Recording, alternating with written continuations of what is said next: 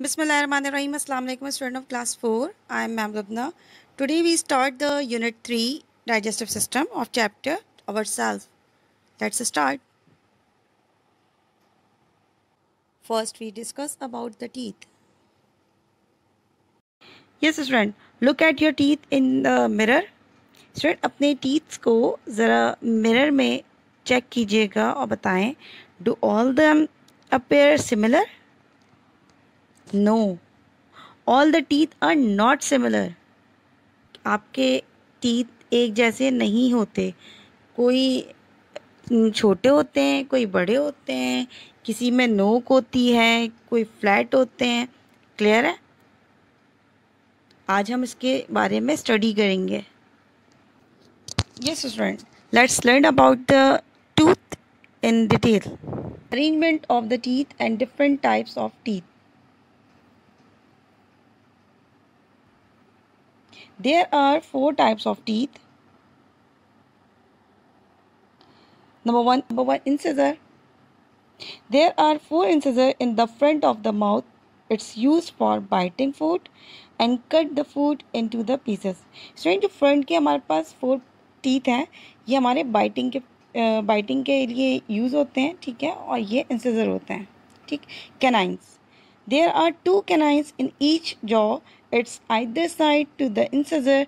They are strong and used for the tear for the food.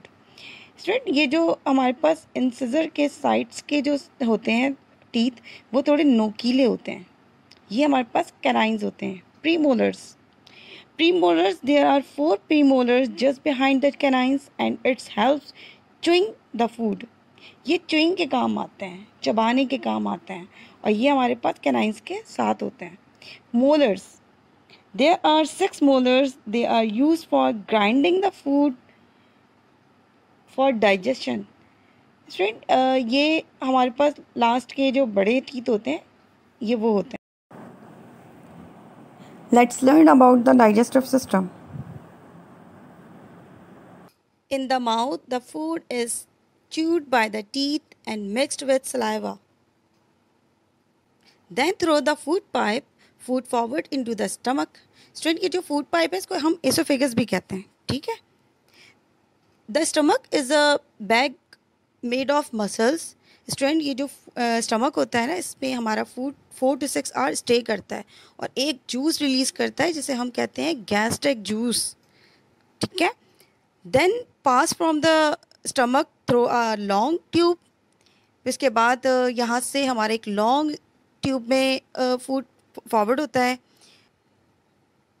ये ये tube बहुत long होती है। Then into the shorter but wider tube called large इसके बाद ये एक और ट्यूब में एक फॉरवर्ड होता है जो लार्ज इंटेस्टाइन कहलाता है। Yes, student, pancreas a long flatted organ located in the belly.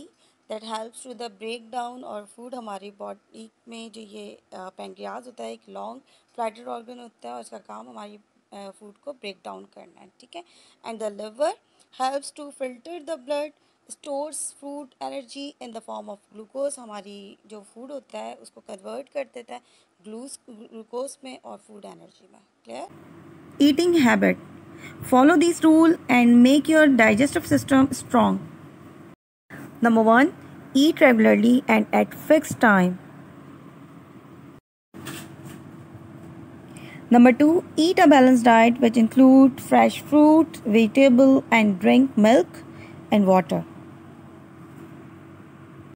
Number three, make sure that the food you eat is clean and fresh. Number four, wash your hand well before eating anything.